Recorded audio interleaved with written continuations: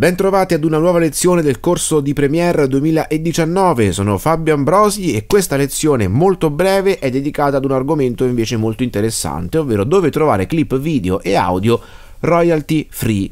Che vuol dire royalty free? Vuol dire che quando volete produrre un documentario piuttosto che un film, piuttosto che un videoclip e vi servono delle immagini che voi in quel momento non avete, eh, non è vero che si può andare su internet e prendere tutto gratuitamente. No, eh, purtroppo, o anzi per fortuna, dal punto di vista degli autori, eh, eh le fotografie eh, o i suoni o le musiche che ci sono, sono, su internet spesso sono protette da diritto d'autore, vale a dire che chi ha scattato quelle fotografie, chi ha girato i video o chi ha composto le musiche eh, chiede una somma per poter utilizzare e sfruttare quel materiale. È sempre vero questa cosa? No, esistono dei siti, esistono dei luoghi dove è possibile scaricare fotografie o video o clip audio o effetti audio, suoni tipo il rumore dell'oceano, cose del genere, gratuitamente con il permesso da parte dell'autore di utilizzare quel materiale anche per fini commerciali, quindi se dovete fare un film o un documentario, ecco l'autore in alcuni casi dà il consenso ad utilizzare del materiale gratuitamente. Sul mio sito www.fabioambrosi.it, in questo articolo, dove trovare clip video e audio royalty free, spiego un po' come funziona questa, questa cosa, spiego un attimino che non tutto può essere scaricato e utilizzato liberamente, perché giustamente gli autori vogliono poter eh, in qualche modo guadagnare dal loro, dal loro, lavoro, altrimenti probabilmente nessuno comporrebbe più musica o nessuno girerebbe più film. Però vi dico anche dove poter trovare alcuni progetti, come questo qui, Splitshire, che vi permettono di scaricare fotografie o materiale gratuitamente e usarlo gratuitamente e liberamente nei vostri, nei vostri film e nei vostri documentari. Leggete magari sempre le condizioni di utilizzo che esistono scritte all'interno dei vari siti.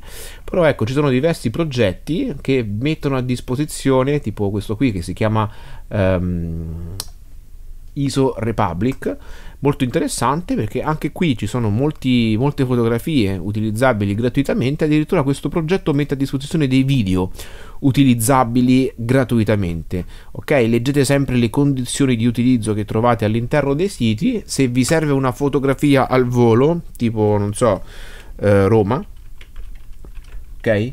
Potete utilizzare eh, ovviamente Google, però attenzione, ok? Non è vero che tutto quello che trovate nella cartella immagini di Google è utilizzabile gratuitamente? Assolutamente no. Probabilmente questa immagine ha un, diciamo un, un, autore che non dà il permesso per sfruttare questa immagine per fini commerciali.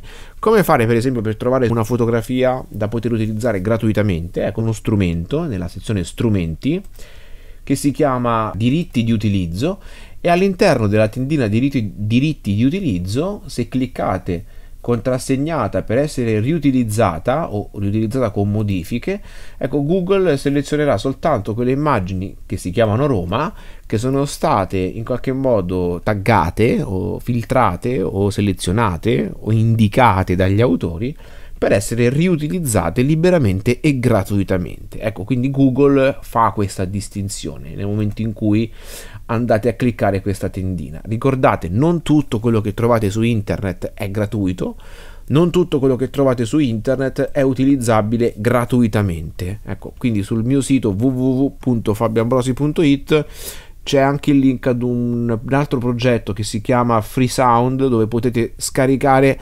suoni eh, da poter utilizzare nei vostri progetti. Eh, tra questi suoni ci sono anche molti suoni utilizzabili gratuitamente. Oh, Bah, ce l'abbiamo fatta. Nella prossima lezione parleremo di Premiere, di come creare un nuovo progetto e finalmente entriamo nel vivo con il corso di montaggio con Adobe Premiere. Registratevi sul mio canale YouTube per restare sempre aggiornati, iscrivetevi al canale, venite a trovarmi su www.fabioambrosi.it, ehm, perché no, anche sulla pagina Facebook Fabio Ambrosi e ci vediamo nella prossima lezione. Se vi è piaciuto questo tutorial e vi interessa questo corso, perché no, spargete parola. Si può dire spargete parola? Vabbè, lo diciamo uguale, via. Alla prossima, ciao!